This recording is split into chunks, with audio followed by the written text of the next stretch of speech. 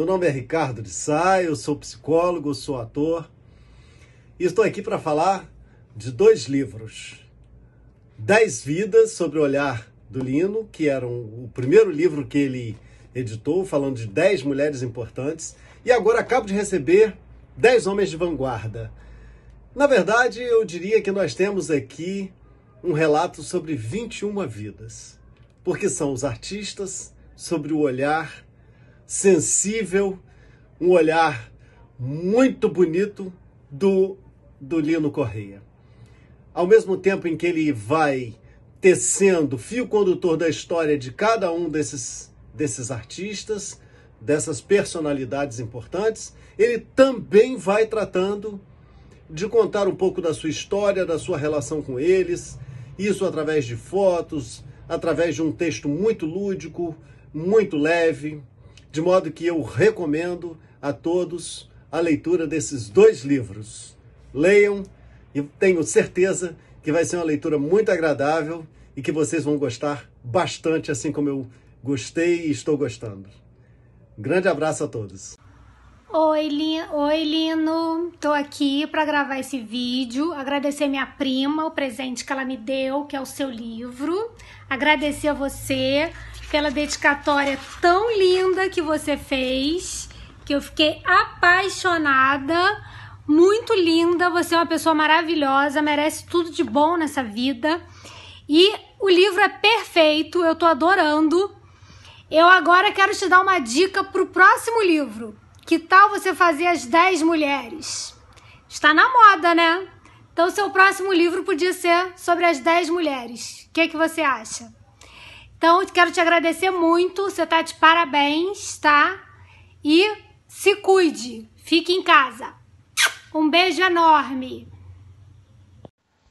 Lagarto tem a felicidade de dispor de grandes nomes no campo cultural, alguns destes espalhados Brasil afora. Entre estes, Lino Correia. É com muita alegria que eu lhes apresento e recomendo o seu mais novo trabalho, Dez Homens de Vanguarda. Ele já tinha feito esse trabalho com as mulheres e agora selecionou, selecionou aqui algumas pessoas, entre elas o seu pai, saudoso José Correia Sobrinho, que Lagarto tanto admira, o sorriso do Lagarto.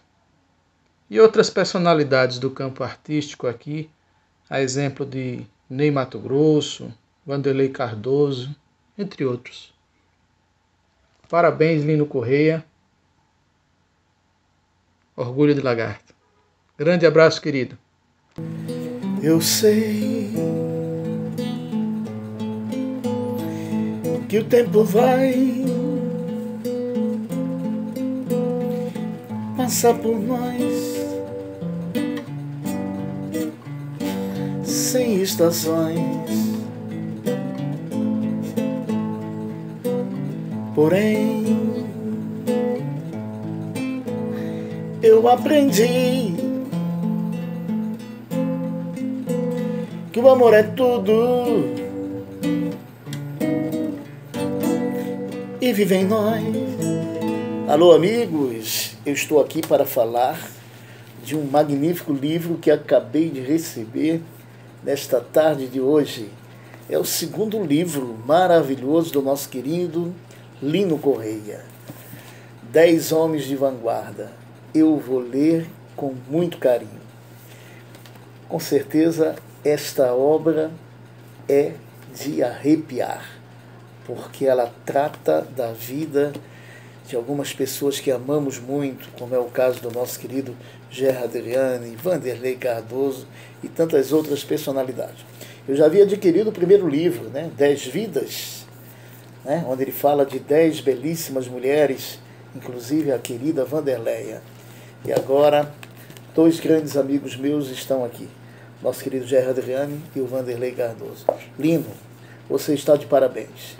Adorei, estou começando a ler, vou saborear da melhor forma possível. Quero desejar para você muito sucesso. Muito sucesso na vida, muito sucesso na saúde, muito sucesso na carreira e que essas obras façam um bem enorme a todos os seus leitores, principalmente os fãs dessas dez pessoas maravilhosas que estão aqui nos Dez Homens de Vanguarda e essas dez mulheres que estão aqui nos Dez Vidas, meu olhar sobre elas. Lino, parabéns. Essa obra é para a gente guardar para sempre no coração, na retina dos olhos e nos pensamentos. Com certeza, a vida de cada uma dessas personalidades merecem muito mais, muito mais do que o carinho, né? E esse carinho só pode realmente vir de você, através da sua inspiração, através da sua dedicação, através do seu amor pela arte pela obra e pela vida dessas 20 pessoas maravilhosas. Parabéns, Lino. Lino, meu conterrâneo querido, estou aqui orgulhosa, feliz de ver sua obra. Aliás, as duas. Li primeiro o livro, esse da mulher, depois dos homens. Parabéns, meu querido, por esse conteúdo maravilhoso que eu encontrei aqui pessoas que são realmente assim queridas por mim desde a minha época de juventude e pessoas ainda que eu não conhecia, estou conhecendo através de você. Com esse carinho que você passa para a gente, das pessoas queridas, que você faz muita amizade, fico muito feliz, muito grata por tudo, meu, meu amor. Você é um grande amigo, você é uma pessoa brilhante. Deus ilumine sempre os seus caminhos, que você tenha muito sucesso. Um beijo grande. Grande alegria que acabo de receber essa obra literária escrita por meu primo, Lino Correia, uma pessoa que eu estimo muito, de um coração grandioso. Espero, meu primo, que tu esteja muito bem e quando passar essa pandemia, venha nossa querida Lagarto para conversarmos bastante, que a partir de hoje estarei degustando este livro maravilhoso escrito por você. Um abração. Eu me chamo Carmélia, conheci o Lino numa missa de aniversário Gerard Adriane, quando ele estava ainda entre nós. Ele e minha filha Beth Soares se comportaram muito mal na igreja, rindo, dando beijinhos, perturbando todo mundo, inclusive a mim, que queria, que gosta de assistir missa. Calma, sem barulho, sem tititi. E e eu estou lendo o livro, estou adorando e, e desejo que você escreva mais, muito mais livros. Você mora no meu coração. Tenho você como filho. Um beijo bem grande para você. Boa noite, sou André Barbosa, sou presidente do Conselho Municipal da Cultura de Lagarto, sou professor da rede pública e professor universitário.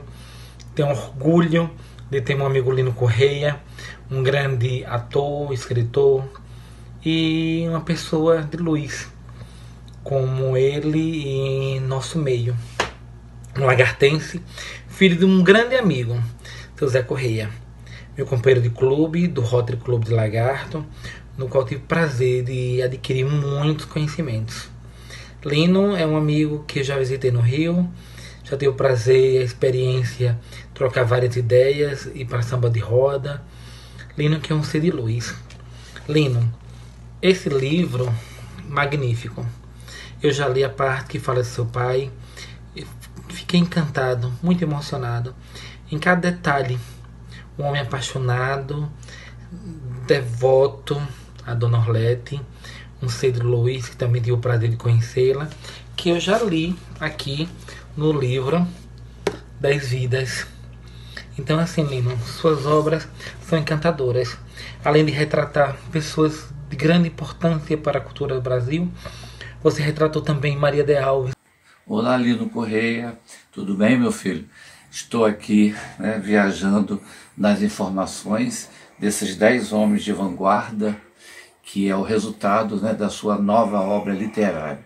Parabéns e sucesso, amigo. Um abração sempre do seu amigo Silmar.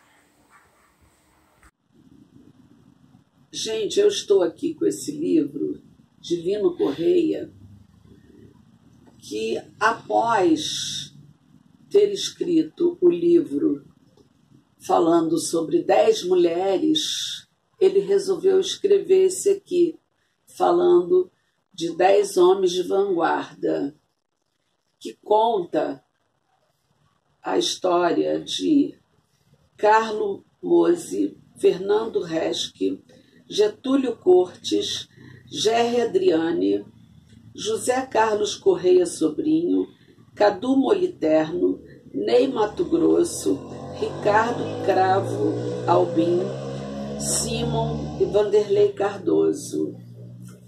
Lino Correia, além de escritor, ele é um grande ator também e um excelente dentista. Parabéns, Lino, pelo sucesso. Eu li esse livro e super recomendo. Muito bom. Olá, Lino, tudo bom, meu querido? Acabei de ler o seu livro Dez Homens de Vanguarda. Eu já tinha me saboreado com a leitura do seu livro Dez Vidas, meu olhar sobre elas. Fiquei encantado. E agora que o seu livro Dez Homens de Vanguarda, estou mais encantado ainda com, com a sensibilidade da sua escrita. Isso é um talento puro, meu filho. Além de você estar nos dando a oportunidade de conhecer grandes celebridades do Brasil, como Ney Mato Grosso, Vanderlei Cardoso, Jerry Adriane, Carlos Mossi. Cara, que maravilha. Um encanto puro, tá bom, filho? Só posso desejar a você sucesso, sucesso e sucesso, filho. Um forte abraço aí do seu amigo Joaquim. Boa tarde, Lino Corrêa. Aqui quem fala é Bedeu, esposo de Hortência. Tenho um prazer enorme de entrar em contato com você. A amizade que Hortência nutria e sempre nutre, porque espiritualmente está sendo alimentada dentro do teu espírito. Tanto de Zé Correia quanto de sua mãe, Orlete Correia. Sou Isolino da Natureza. Hortência tem assim uma menção especial por Dona Pureza, que todas as vezes que lá chegava na casa dela, não deixava de oferecer um salgadinho, um doce, uma coisa qualquer. É sempre a novidade. Recordo muito de seu pai, né? um grande locutor político, também fazendo as campanhas políticas do tempo de seu Acris, de um liderado do Machado. Ele rivalizava com o Mundinho Prata no microfone. Posteriormente foi Nilton do Correio, também parente de vocês. Então, aquela rua Pernambuquinho, onde vocês moram, é de saudosa memória, né? Onde Zé Prego, aquele filósofo, sempre com suas, é, suas retiradas e faz nos recordar aqueles tempos idos, aqueles tempos passados. Sou Isolino, foi um comerciante da década de 40 e 50, com uma pujança enorme, né? reconhecidamente. Você se refere no livro que você editou, que inclusive foi passado para mim por Luzia Pires, né? que diz assim uma coisa, quem empresta um livro tem que ser cortado uma mão, e quem o devolve as duas. Então, eu nunca vi tanto conteúdo, tanta bagagem literária, quanto você se expressa no conhecimento da causa de lagarto. Tempo que Roberto Carlos passou por aqui, Sérgio Reis passou por aqui, né? É, a, a banda Los Guaranis, que você também é, tem muito conhecimento, do Cine Glória, enfim. Toda aquela época que se foi, fica assim na lembrança, no íntimo do nosso coração. Porque na realidade, o que é bom não passa. E é você, eu desejo muita saúde, mas saúde mesmo, que recupere o mais breve possível, a fim de que você volte todas as suas atividades normais, com a proteção de Maria, evidentemente, e todos os anjos, todos os santos, que eu conduzo para o bem da felicidade. Aqui eu tenho uma foto, né, que vai mencionar a amizade que verdadeiramente o seu pai e sua mãe nutria com vocês.